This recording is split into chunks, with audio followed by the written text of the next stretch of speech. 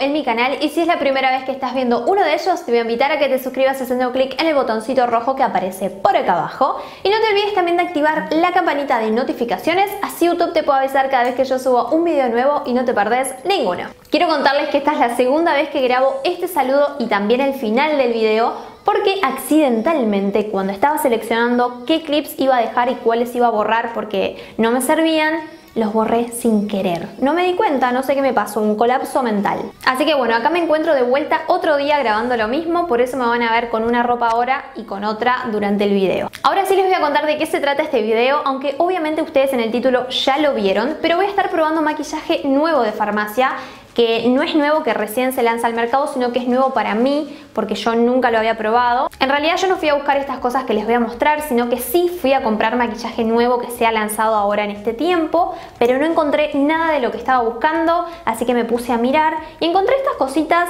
que nunca las había probado y bueno, me llamaron un poco la atención, así que las compré para probarlas hoy. Otra cosa que quería decirles para que no se preocupen, si me ven un poco decaída en estos clips donde probé el maquillaje, es porque yo me sentía un poco mal, me estaba empezando a enfermar, así que era solamente eso, no se preocupen. Ahora sí, empecemos con el video. En este momento ya tengo aplicada la base y el corrector, así que directamente vamos a pasar al polvo para sellar esta base y el corrector y yo compré este que es de la marca Rimmel London y se llama Lasting Finish.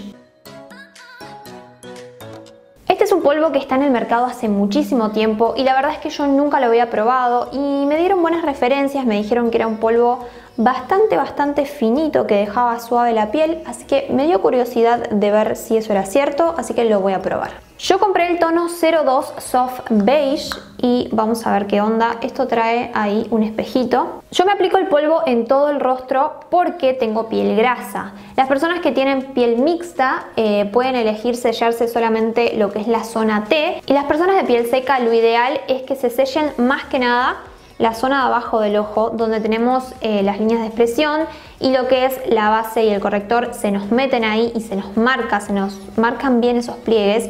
Bueno, lo ideal para pieles secas es que se sellen bien ahí para que no se generen tanto esos pliegues. Y después también un poquito eh, en esta zona donde van a aplicar el contorno y el rubor para que no les quede tan marcado. Porque si ustedes ponen polvo arriba de lo que es eh, algo húmedo como es una base, por ejemplo, rubor hacen ¡pum! Y se les va a quedar como más pegado y les va a costar más difuminarlo. En cambio, si ustedes ponen un polvo del color de su piel, como es este, o un polvo translúcido, que yo uso mucho polvo translúcido también, ponen el polvito, entonces eh, la base ya queda sellada y cuando van a aplicar los demás productos se les difuminan bien y no se les quedan muy pegados ni muy marcados. No sé si se entendió. Después tengo por acá este producto que es un bronzer también de la marca Rimmel London que se llama Good to Glow. No sé por qué me gustan tanto estos productos que son así inmensos, porque si tenés un neceser chiquito para llevar en la cartera, esto es como gigante, muy grande. La otra vuelta también les mostré uno de la marca L'Oreal que creo que se llamaba Jolie Bronze y era así, gigante también, pero el empaque era aún mucho más bonito, pero también es más caro. Hay que tener en cuenta que este es un bronzer que tiene destellitos dorados, o sea que tiene brillitos. Hay gente a la cual le gusta que los bronzers tengan así brillo y hay otra que no, que le gustan los mate. Así que a la gente que le gustan los bronzers mate, este no. Voy a empezar a aplicarlo y mientras tanto les cuento que otra cosa que me gusta de este bronzer es que no es eh, naranjoso, no te deja la piel naranja. Hay muchos bronzers que hacen ese efecto así como muy naranjoso y la verdad es que no me gusta, pero este no, este está súper bien. Voy aplicando de a poquito para no aplicar demasiada cantidad y no quedar muy cargada. Y esto va para las personas que no saben muy bien para qué se usa el bronzer. Muchas veces me preguntan si el bronzer es lo mismo que el contorno y no, son cosas completamente diferentes. El contorno se usa para dar dimensión a la cara, para afinar el rostro, para esconder las partes que tengas prominente, como por ejemplo si tenés mucha frente te aplicas en esta zona para achicar la frente, si tenés eh, una pera bastante grande te aplicas también en la zona de la pera y se ve como más chica, es como el efecto también para afinar la nariz, em, la parte de acá de la mandíbula, si tenés mucha te aplicas y se ve más chica también. Para eso sirve el contorno y lo que es el bronzer sirve para broncear el rostro, para dar color, para dar ese efecto como que si hubieras tomado un poquito de sol, bueno, para eso es. Yo también me aplico un poquito ahí arriba de la nariz y un poquito por debajo también, que generalmente cuando nos pega el sol nos va bien en la nariz. Ahora vamos a pasar a las pestañas y tengo para probar esta máscara que es de L'Oreal.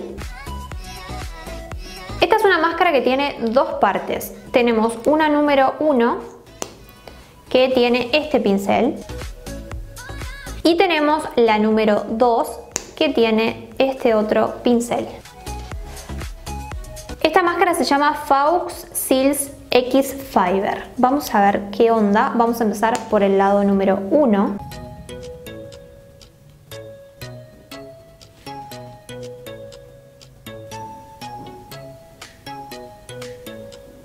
Wow, la parte 1 me dejó las pestañas súper bien peinaditas y bastante arqueadas. Más allá de que ustedes saben que yo tengo las pestañas largas naturalmente ya de nacimiento, pero más allá de eso ustedes tienen que saber que a mí no todos los rímels me gusta cómo me dejan las pestañas. Porque muchos de ustedes me dicen, ay, pero vos todos los rímels te funcionan porque tenés las pestañas súper largas y no sé qué. Y la verdad es que no, no tiene nada que ver, porque hay rímels que la verdad no te dejan lindas las pestañas, algunos no te las peinan bien, otros no te dan buen volumen. Eh, no porque tenga las pestañas largas me van a gustar todos los rímels y todos los rímels me van a dejar lindo. La verdad chicos es que este rímel me las peina bastante bien y ya con el 1 siento que no necesito nada más, pero bueno, vamos a probar el 2.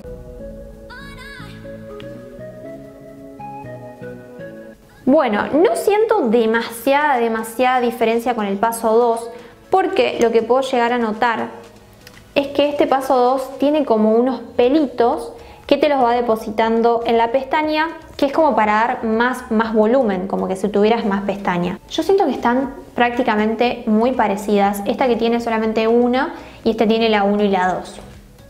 Bueno, ahí estamos. Está loco este rímel, ¿eh? Me gustó un montón cómo me dejó las pestañas. Me las peinó bien y me las arqueó bien. Eh, vamos a ver después con el paso del tiempo si se me bajan, si me mancha, si se me cae producto, después les contaré cómo me fue con eso. Vamos a pasar a un producto que es para las cejas y es este que tengo acá, tengo en dos colores diferentes y se llama Brow Precise de la marca Maybelline. Creo, por lo que estoy viendo acá, que me va a quedar mejor el que es más oscuro que se llama Deep Brown y quiero que vean el pincelito como es, como si fuera un peinecito, un cepillito y tiene como unos pelitos también. Y voy a empezar a aplicar. Me gusta porque aparte de dejar color, lo que hace también es peinarlas.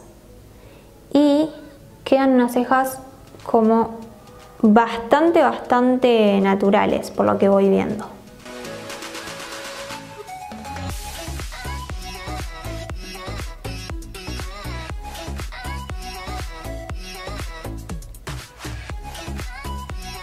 Bueno, ahí ya lo terminamos de aplicar y la verdad me gustó un montón el resultado.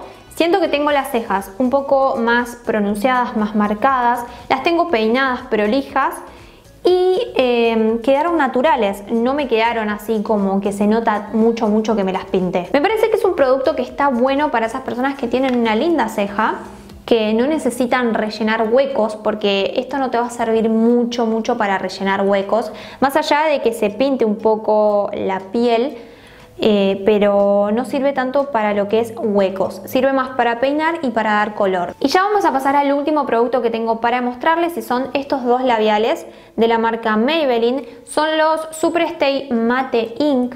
Yo tengo un video especial dedicado a todos los colores de estos labiales Probé todos, creo que me faltó uno solo de los que hay acá en Argentina. Y estos son dos colores nuevos que hace poco que están en el mercado, que llegaron acá a la Argentina.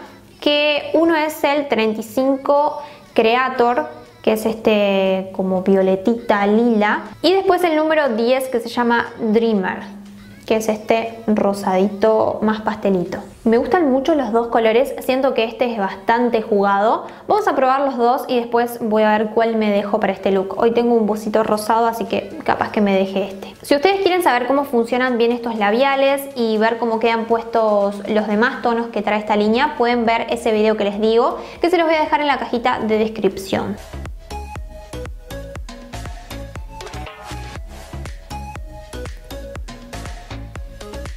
No sé qué opinan ustedes, pero este color está muy bueno. Lo único que puedo notar en este momento, que todavía el labial no se secó, es que se me pega un poquito acá, en esta zona.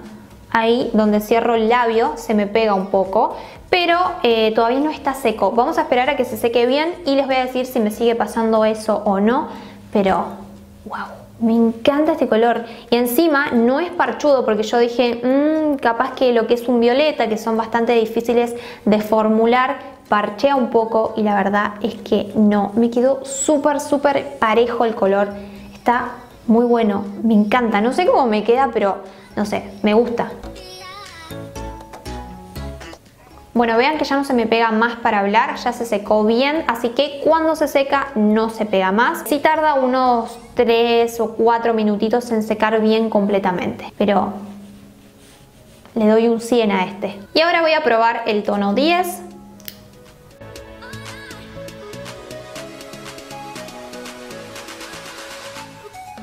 Bueno, ahí ya terminé de aplicar y este se me está súper pegando acá, pero recién, recién lo apliqué, no esperé absolutamente nada que se seque. Lo que siento es que es una fórmula muy diferente a la del otro. Esta es como más espesa, es más pastosa, eh, es un color más pastel y queda como en algunas zonas un poquitito, pero muy poquitito parchudo. Siento que es un color que a mí no me queda demasiado bien, que quizá a una morocha le va a quedar mucho mejor que a mí, porque es como medio pálido para mi tono de piel, siento que me apaga. En cambio el otro violeta sí me quedaba muchísimo mejor, eh, pero no es un color feo, solamente que a mí no me gusta cómo me queda. Vamos a esperar unos minutos para ver si se seca bien. Ahora ya al momento siento que se me está empezando a secar la parte de adentro y no se me pega más. Es al momento que lo aplicas no tenés que hablar. Bueno, ahí ya está. Este se secó un poco más rápido que el otro. Supongo que debe ser por la fórmula que es diferente. Y ya no se me pega más. Bueno, amores, esos son todos los productos que tenía para compartir con ustedes. Sé que no son demasiados, pero lo que rescato de este video es que encontramos muy buenos productos. Primero que nada, el polvo me gustó, me dejó la piel bastante suave. Veremos después cómo funciona con el paso de las horas, cómo me deja la piel. Eh, lo que es el bronzer me gustó mucho porque me dejó un lindo color.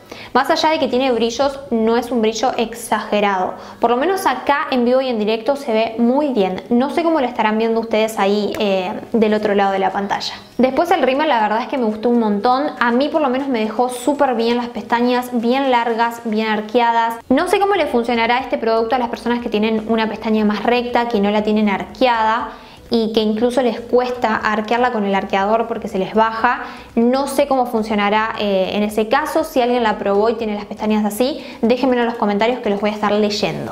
Y después de los labiales, el que más me gustó fue este tono violeta, lila más encendido. Este color rosadito no es que no me haya gustado, sino que yo siento que a mí no me queda del todo bien y la fórmula es muy distinta a esta. Esta no es nada parchuda y esta sí un poquito, así que eso es algo para tener en cuenta.